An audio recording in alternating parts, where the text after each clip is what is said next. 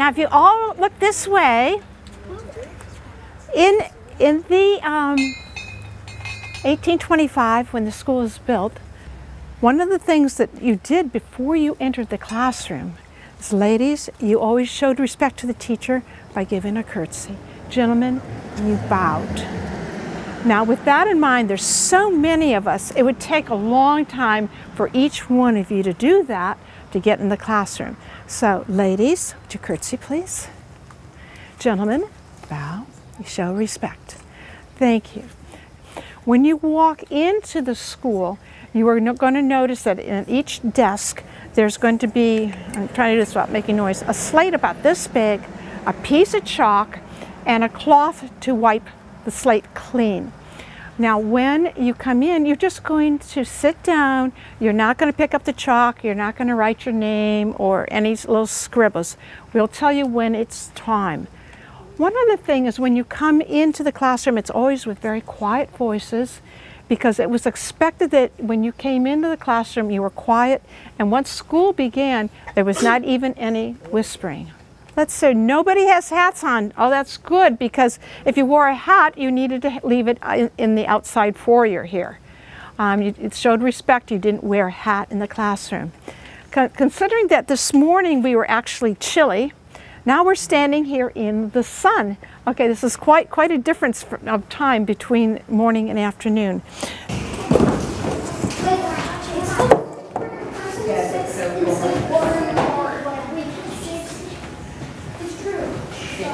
Okay, the, the adults sit over on the yellow chair, okay, the bleachers. good.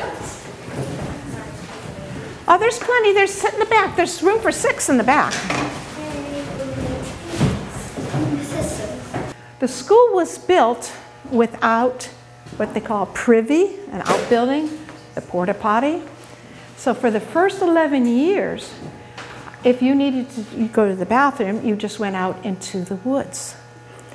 Um, that's the way it was.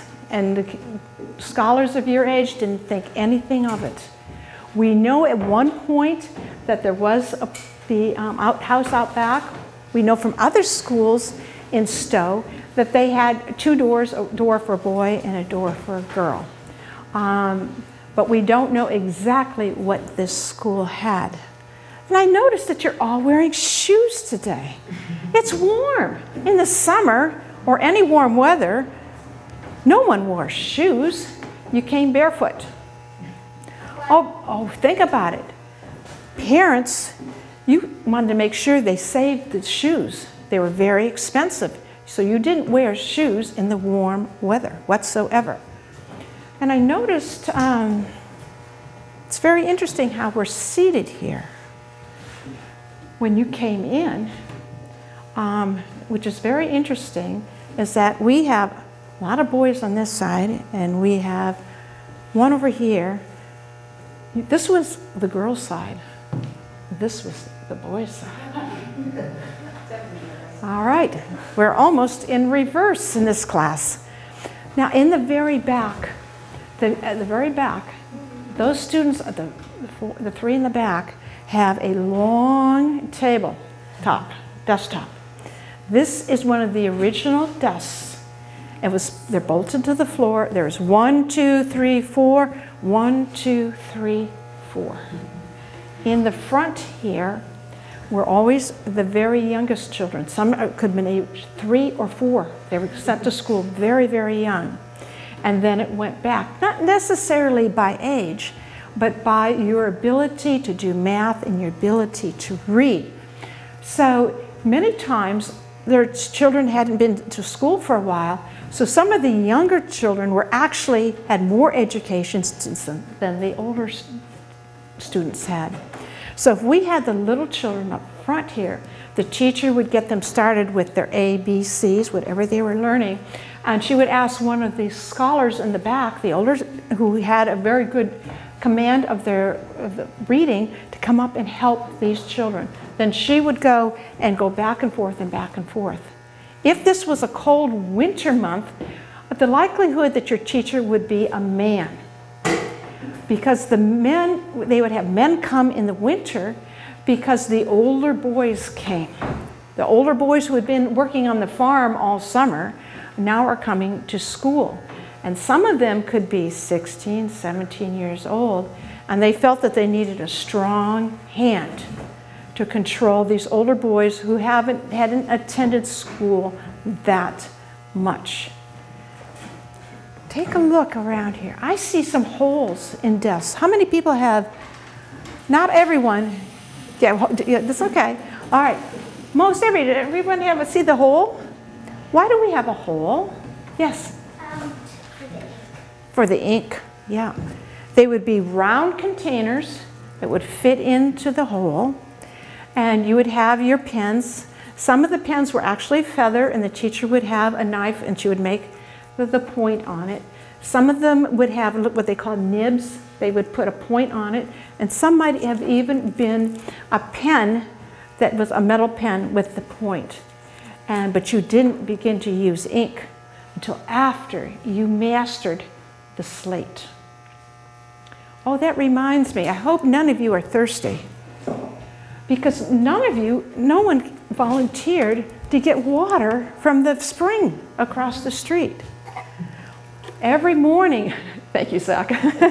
Every morning, uh, a student would be in charge of going across the street, the parking lot, down the hill to the spring, filling up the bucket, and this is what you would, everyone would use the same cup, and this is what, how you got your water for the day. And we know that Zach will help us if, if we get very thirsty. You would have also all come to school carrying your lunch pail.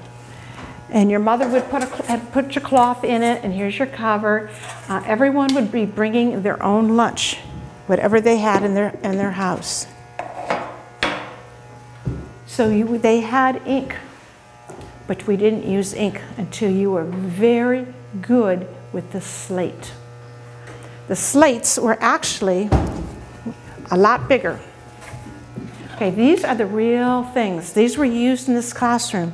We're very fortunate that the beginning of Harvard Road, one of the, two of the houses are still there. We had the Gates family, the Peck family. And in their attic, after all these years, the, the, the school supplies that they used in this school were saved and if you look very closely, we have some of the names of the children who owned these slates. And we have, we have their textbooks. So they would have, their, every child would come with their own, at this age, their own textbooks from home. And then if you had a younger brother and sister, after you would keep passing the books down. You'd use the same books. So you might have a reader and you might have a reader, but they might be different, but that's how you were going to learn to read. So once the children got proficient on the slates, they went to the ink. But I think we better practice with our slates first. So what I'd like you to do with your slate, pick up the chalk in your right hand. All right. Is that uncomfortable for anybody? Do we have any lefties? ah, what a shame. And sorry, lefties weren't allowed in schools. You had to use your right hand. What do you think? Should we let her do it today? No. Yeah, we'll let you do it. Absolutely. Okay, because we are reenacting. We're reenacting. Now, this is what we're going to do. I'm going to give you an example right now, okay? You're not going to write the answer down. We're going to start with mental math, all right? You're going to do the math problem in your head, and then you're going to write the answer down. So uh, we're just going to do one practice one. So you're not going to write anything. We're going to go to first grade level, okay? If I said 1 plus 2, um, don't write it down. What, everyone together, what would you write? 3. Okay. So what you're not going to do, all right, I'm going to borrow this and he's going to erase real. You're not going to do this, okay? Because you are going to be writing a good number, different numbers. Okay, so make it just a little, little number, not, not too big. Um, and then, when you're done, you take your cloth, if you'd written something, and you write, you wipe your slate clean. Okay, there's an expression called wipe, wipe your slate clean. They mean start fresh. And from what I've read is that a lot of times boys and girls, the scholars, would just take their sleeve and, and do this. Okay, so you're wiping your slate clean. And the teacher, you might even hear, if you to say it to your parents or your grandparents, they might know this expression. And sometimes you're having that no good, very bad day. And you just, you remember Alexander who had a no good, very bad day? And he just needs to wipe his slate clean and start all over again. All right, but now we're going to do the real thing. So right hand and one lefty here. Here we go.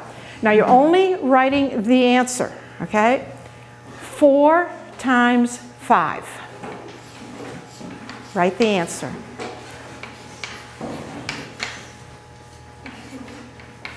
Okay, now take with that answer in your you see your you see the answer. Now minus take away five. Just write the answer. Take away 5 from your answer, and what do you have? All right. Okay, now we're going to switch and we are going to do addition. We're going to add 6 to that answer.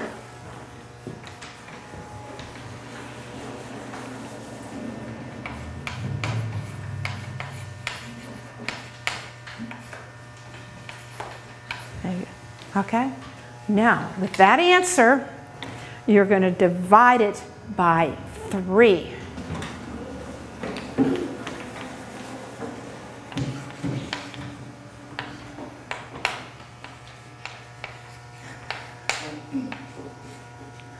All right. Your answer, hold your slates up. What is your answer? Seven. Seven. All right. Excellent. Excellent. Okay, wipe your slate clean. There we go. All right, we've done our math. Everyone all set? Here we go. Now, we're going to go to language arts. And we are going to do something with helping verbs. Have you ever heard that name? How about verb? Yeah. All right, we're, we're, we're going to help our verbs. Now, the helping verbs, if we had time, we could learn a rap. And you ready? Here we go. It's be, is, am, are, was, were, being, been, having, have, has, had, would, could, should, shall, will, ought, may, can, might, must, do, did, does. Those are all your helping verbs. All right? And it's a lot of fun when everyone knows it because you can do a great rap with it. Now we're going to take helping verbs and we're going to do it present tense. And I'm going to give an example. I'm going to do I, and my helping verb is am. Be am. Okay, am. I am standing. So the verb is stand, and then I'm added ing. Now, on your slate, you don't have to write I am, but write something that you are doing. I am, and write the next verb, and it has to have an ing. Something you are doing.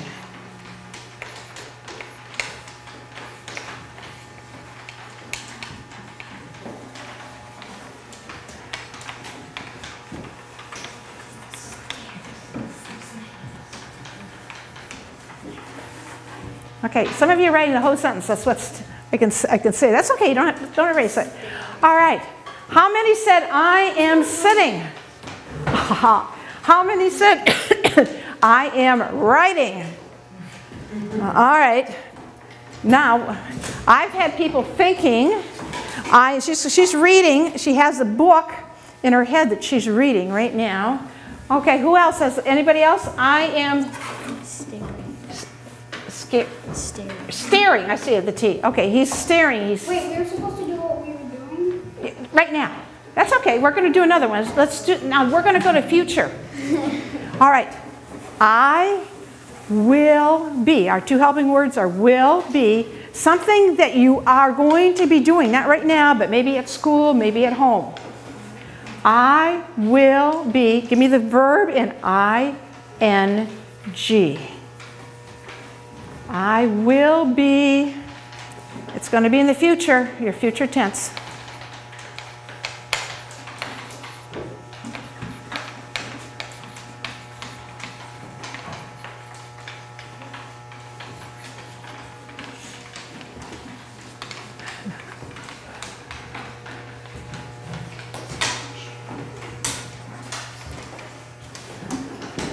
All right. How many said playing? All right. Uh, how many people said eating? I want you to know that this morning's group, the majority of the students this morning said eating because it was just before lunch. All right, they, they were very focused on their food. They were eating. I will be dancing, I will be reading, I will be Playing video games. yeah, playing, you know, well, he's in the future. He wants video games. Playing, playing.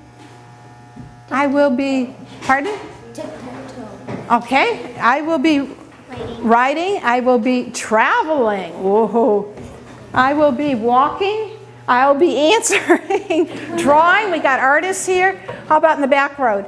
I will be doing. She's going to do math. I will be, Going home today. okay, and what's the last? Riding. Riding. She wants to ride back on the bus. That's a darn good thing because it's a long trip to think about walking. All right, now what I want you to do is take your cloth and erase, erase it. Okay, well, catch your, catch your chalk.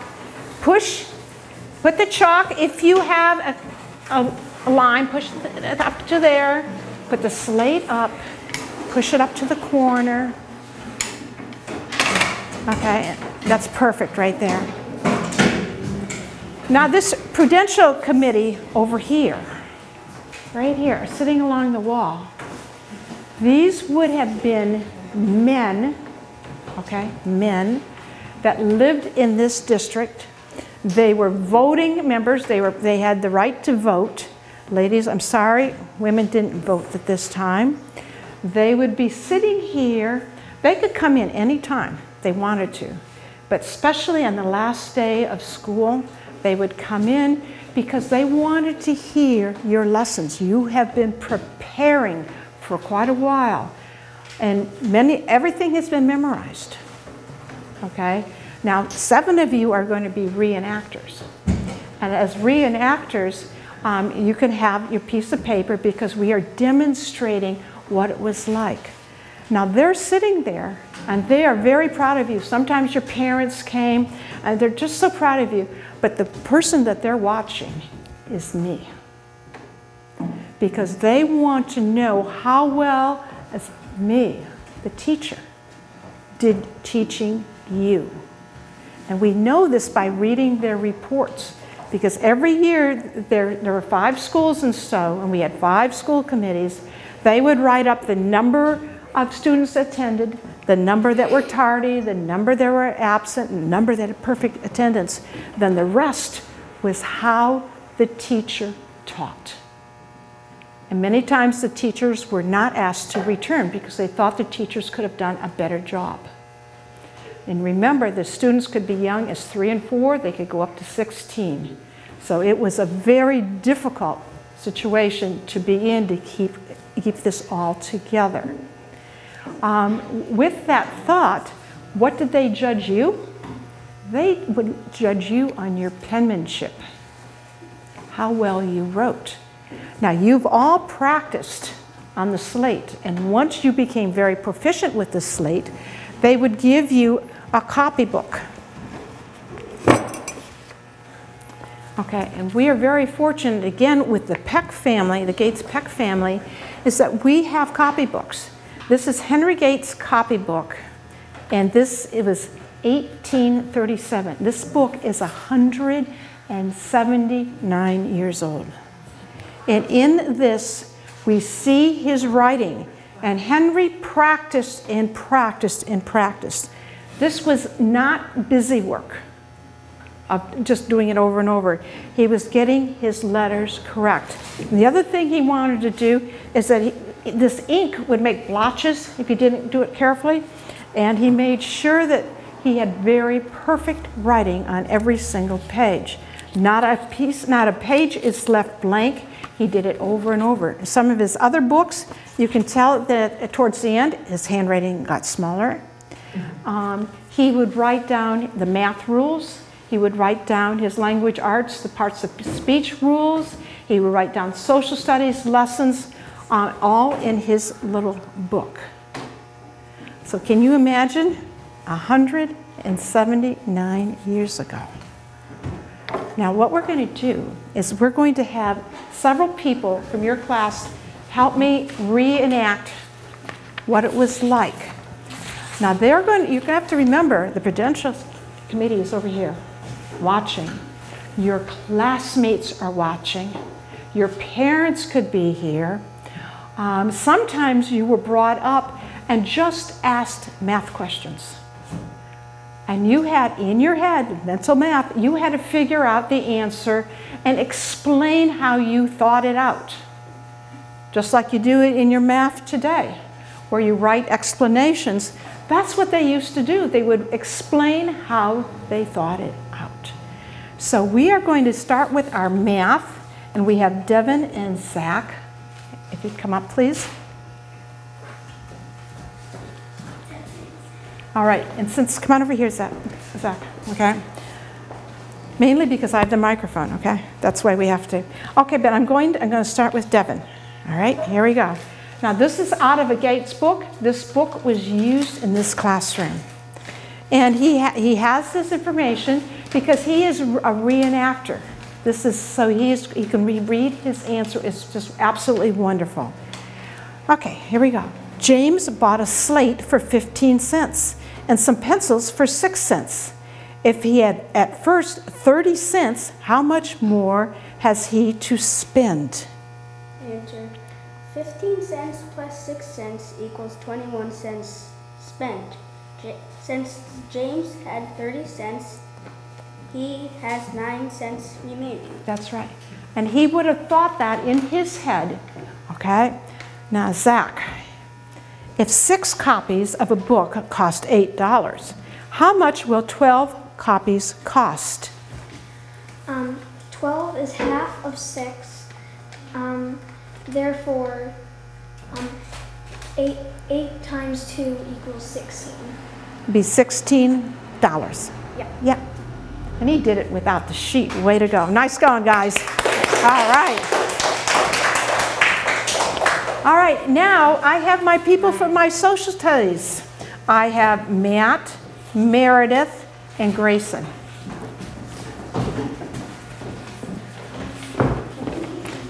Okay.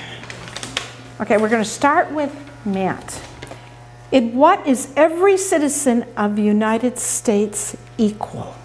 In the United States, there is no nobility. Every citizen is equal in civil and poli- Political? political rights. Absolutely. Now, you were just at Plymouth Plantation, whether they're Englishmen, British citizens, all right? They had nobility. Now, here, we in the United States have no nobility. We have a president and we have equal rights. That was very nicely answered. I'm just going to switch sides. I, knew, I need her beside me. All right. Um, are you Meredith? Okay, good. Meredith, what types of transportation are numerous in the United States? Steamboats, canals, and railroads are used easily and rapidly to, from state to state. Isn't it amazing? We have steamboats now. We have canals. We have railroads. We don't have to rely just on our horse and our horse and buggy, our horse and wagon. It is marvelous invention. Excellent. You can stay there, stay right there for a minute. All right, next page. How many states, territories, and districts are in the United States? In the United States, there are 30 states and 5 territories and 1 district, which is Washington, D.C. Excellent. Now, what is interesting with that is just five days ago, we had the 30th state. Does anyone remember what the 30th state was? We just have a brand new state. What do you think? No, that's Hawaii is still way out in the ocean. We, we aren't, no, it was Wisconsin because we're still moving west. Oh, Hawaii is a long, that was our last at the very end, okay? So presently, how many states do we have? 2016. Phew, glad you know that. Okay, let's give them a round of applause. Way to go. All right. All right, now we come to the dialogue. In this dialogue, they're talking about cars and teams, not automobiles, not baseball teams or soccer teams. When they say cars, they mean, and if this was 1848, you would know, I wouldn't have to explain. They mean train cars. All right? And a team is a team of horses with, with the wagon behind it. Now, in 1848, in Stow, we did not have a railroad. It would be coming down to Gleasondale in another 10 years. But in West Acton, they had a train. And here, when the tr- train whistle blew, we could hear the whistle. Actually, we didn't even want the train because down right by Center School and Hale School, we were the center of the stagecoach. We had huge um, barns full of horses. The stagecoaches would come from Fitchburg, stop in Stow on their way to Boston. We didn't want a train in Stow at all. Can you imagine? That's where they wanted to put it, right down Main Street, right where Center School is. You, can you imagine what that would have done to the town? So it's a good thing we didn't have it. So we can, we, can you people in the back see that okay? Can you see the picture? It's, it's a little tough. The picture is very, very tiny. Okay?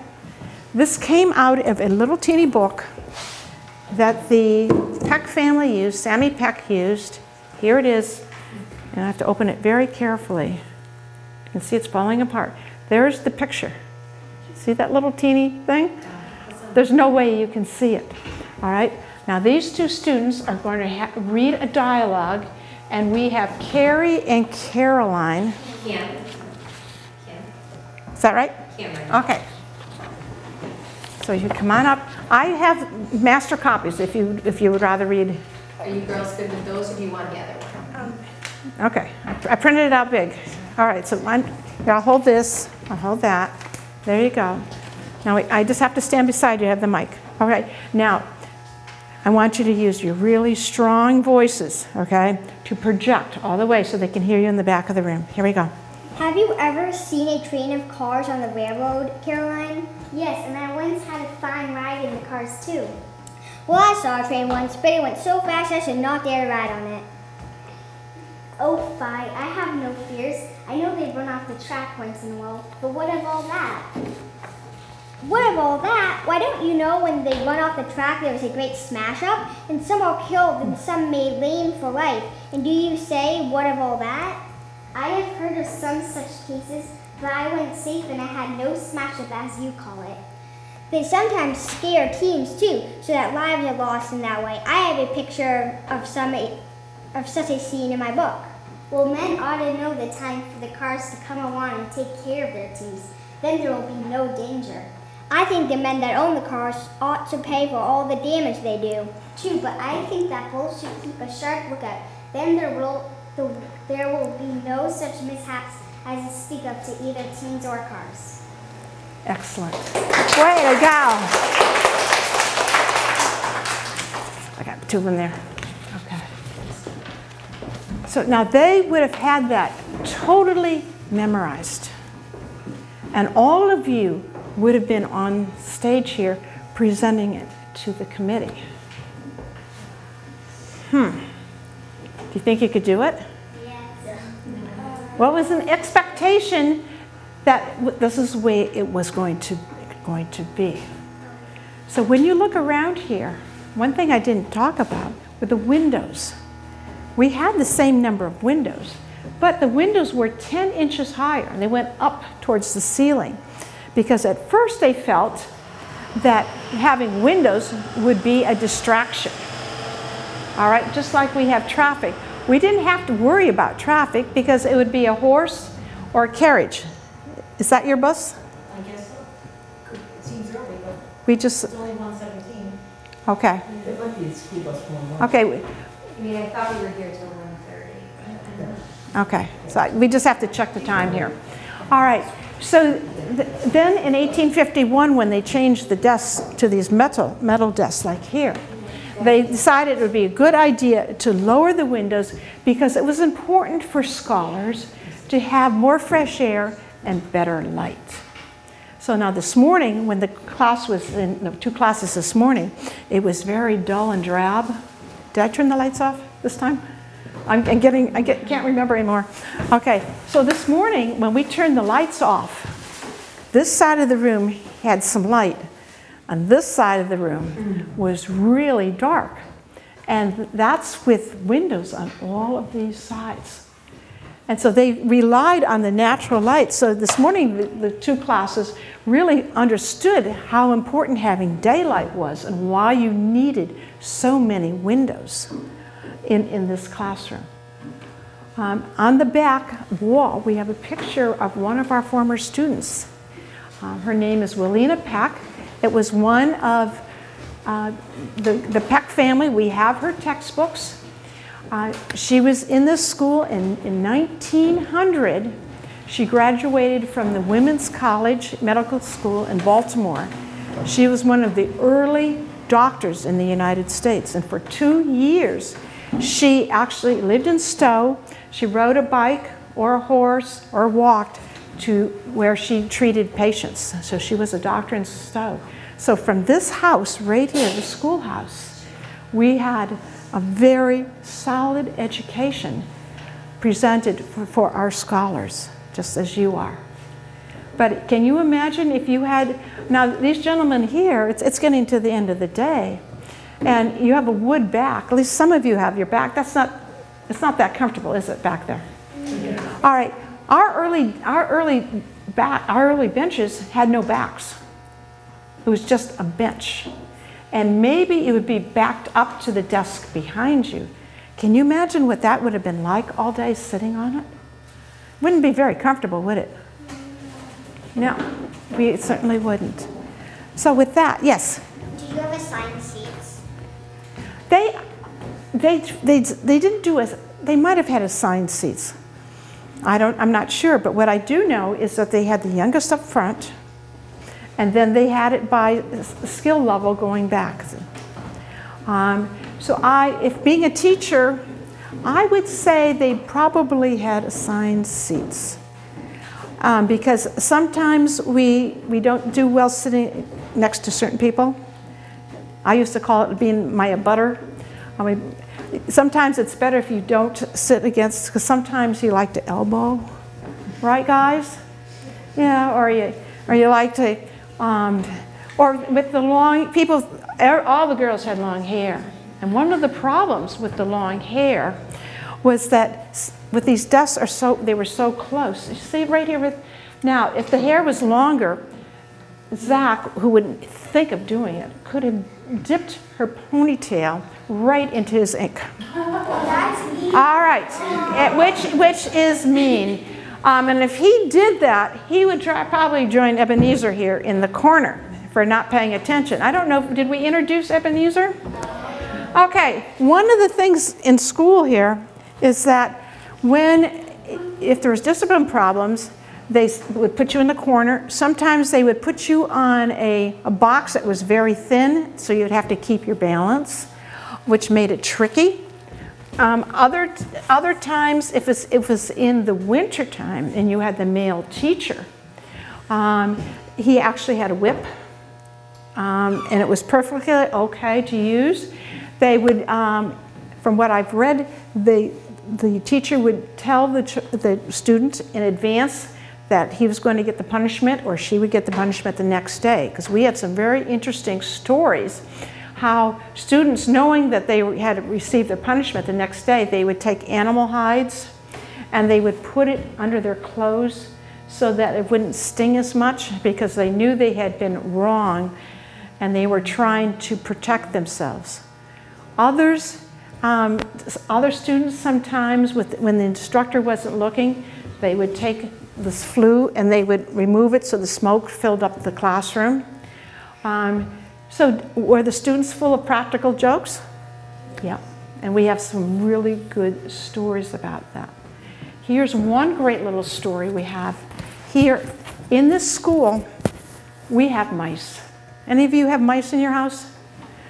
Hey, we have them. All right, and this is, there's no insulation in this school. And here, this little boy, right here, he was sitting near the stove where we have the tongs. And this is where you move the logs in here, the hot coals. He picked up the tongs and he said, By George, I caught it. He caught a mouse and it was put outside. All right? So that was interesting. Another story we have is that this little boy had a very hard time sitting still. And when you were very good in class, the teachers gave you a reward of merit, a little piece of paper, and it was a very prized possession. And he never brought one home, never brought one home. And then one day, he came in all excited and showing it to his mother, and she said, what, what changed your behavior? And he said, The teacher wore such a pretty dress. I looked at it all day. That's our little, so we have a lot of these little tidbits of, of stories. And dresses, like mine, this is seven yards of material, a lot of material. Um, ladies, you would be wearing a long dress. You would have an apron on because it helps. I would have, have, the teacher would have an apron on because it helps to keep it clean because you usually only had one other dress. It was all hand sewn. It took a lot of work and that's all the families could afford. Gentlemen, you had a pair of pants and a shirt. You probably wore a straw hat. Uh, ladies, you had, probably had a bonnet or a straw hat. You would probably have two sets of clothes. And so like this little boy here who received an award, we actually, in the Stow Historical Society, have two of these actual rewards that were given to a student in 1863. And we'd have them under glass here because we want to protect them because they're such treasures. And what, what are those boys doing in that picture? Um, I think they're using a bat for something. A bat. So what, what, what sport is that if we have a bat? What is it? Baseball. Baseball. They're playing baseball. And when we saw this, we said, oh my goodness, because baseball was a brand new sport. They were just forming national teams, and for them, to, on a reward, to have picturing baseball, it was absolutely, we were just blown away. And down here, we have a little girl, and she's tending to her garden. And so, what we've done is that when you go back to school, Miss Albano has uh, copies of these. You can just going to print your name in it, and you are going to receive your reward. Okay? We made copies of these for you, so you'll get them when you go back to school. Because, because we wanted your name on it, and there's just so many third graders that we wanted to make sure that um, we had the, the spelling correct. All right, so what we're going to do now is that since this class, you know, remember in January, we, we got to take a class picture when I was in your classroom with, with all the Indian arrowheads? Well, here you are, again, you're the last group, and guess what we get to do? We get to take a picture. Okay, and we are going to try to pose it just like this picture in front of the door. All right? So that means that we're going to put some benches out. Some are going to be on benches, and some are going to, be, a few people might be sitting on the rocks, and then some of them are going to be around the, on the steps beside me. So what we need to do is we need to stand up very carefully so you don't bump your neighbor, and we're going to go outside, and we are going to get ourselves a group picture of West School. All right.